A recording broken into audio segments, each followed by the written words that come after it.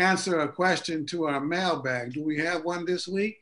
Yeah. Um, someone wrote in uh, asking uh, what our um, what our opinion is on um, uh, the legacy of Mao and Maoism. Okay. Well, that's a big question, and um, well, we could, one way we could approach it is, you know, we uh, we also get questions a lot of the time about about Stalin.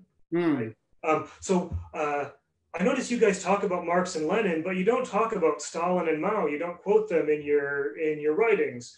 Um, why why is that?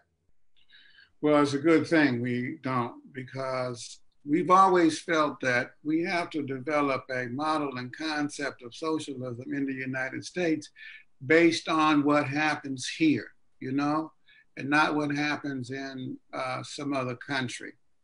Um, that's one part of it. And what, what, what happened in the communist movement uh, is that, particularly in the initial stages in the 20th century, is that because of our newness and lack of experience, we mechanically borrowed from the Soviet or Chinese experience and tried to apply it to American conditions or French conditions or Japanese or Argentinian or, um, you know, Brazilian, uh, Indonesian experiences. And it just don't work, you know. There's no universal models. You got to develop it based on what happens in your own country. That's one thing. The other thing that you got to address is what were the political practices of both Joe Stalin in the Soviet Union uh, during the uh, period of uh, uh, his life when he was the leader of the country. And the same thing is true with uh, Mao. And in both cases, you know, you have uh, a lot of problematic issues that came to the fore. Yeah, they played a war, role in winning the Second World War, you know. Um, yeah, Mao led the revolution uh, and the, the, Long March uh, helped organize the Ch- Chinese people and party and the peasantry in the fight um, uh, for the national independence of their country. No question about that. But there were also uh, a lot of problems, you know. There were the trials, uh, there was the liquidation of the old Bolsheviks in the Central Committee. Uh, there was in China the Great Leap Forward. Uh, you know, there was the Cultural Revolution, which created enormous, made enormous mistakes, you know, uh, and caused uh, significant suffering.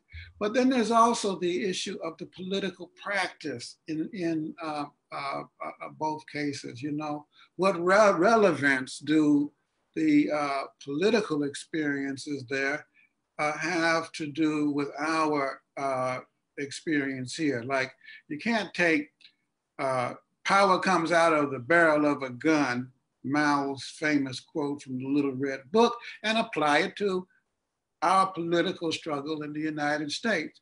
Sadly, particularly during the 60s and 70s, a lot of young people did, you know. I'm going to try and take this in a, in a slightly different direction, I think, uh, as a, sorry, I, I, didn't mean to cut you off. Uh, did you Develop your thought. Uh, so um, I think this question of, of, of quoting Stalin and Mao in particular, I don't do it because it seems like letting the bourgeoisie dictate the terms of our ideological work. So I think there's there's this tendency in, in, in anti-communism to reduce the entire Soviet experience to Stalin. Everything is just this, this Stalin and how horrible he was, and, and to do the same thing in China with Mao, Mao and, and how horrible Mao was. And, and that becomes uh, a kind of cover so you so they don't have to actually engage with the the complexities of the the process of socialist development the the pressure of of imperialism and capitalism and all of that. So i think on the part of a lot of uh, people in the the communist movement or some people in the communist movement the desire to quote stalin and mao has less to do actually with what Stalin and Mao wrote than with a desire to sort of push back against that uh, ruling class anti-communism to say you know you you say that Stalin and Mao prove that that communism is dangerous and tyrannical but we're going to you know take that up and be proud of it but that's that's not the that's not the question the question isn't do we you know wave the the proclaim the name of comrade Stalin or or, or whatever the the question is what are we doing as the working class? What are we doing for the working class? And and I don't think we should fall into the the trap of mistaking a, a person's name for a program. Um, our program yeah, comes. We from, have to look at the universal experience of the working class socialist and communist movement, and we have to draw the lessons from its pluses and minuses in an objective and frank way and we have to develop our own way, our own path based on what's happening in our country. I think that's the most important uh, thing. And we got some hellified thinkers uh, in the United States as well, you know, going all the way back to Debs and uh, Foster and, and uh, Elizabeth Gurley Flynn, Claudia Jones, uh, W.E.B. Du Bois. I could go on and on and on uh, Helen Keller, even, you know, Albert Einstein, all partisans of socialism. Let's quote them. So, Scott, stay uh, strong, stay safe, stay healthy, uh, stay socially distant, but uh, hmm. communally and socially close until next week. Our and national committee is meeting uh, on Sunday. Speaking of of, of those national traditions and, and staying healthy.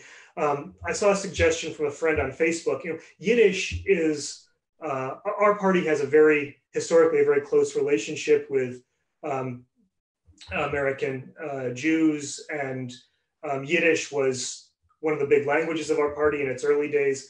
And uh, I saw a friend of mine on Facebook propose that in this time of, of crisis and, and pandemic, um, maybe we should adopt the uh, the traditional Yiddish um, way of saying goodbye, which is sei gesund, be healthy. Be healthy. That's the last word. Um, have a great week and uh, be healthy. Be healthy, comrades.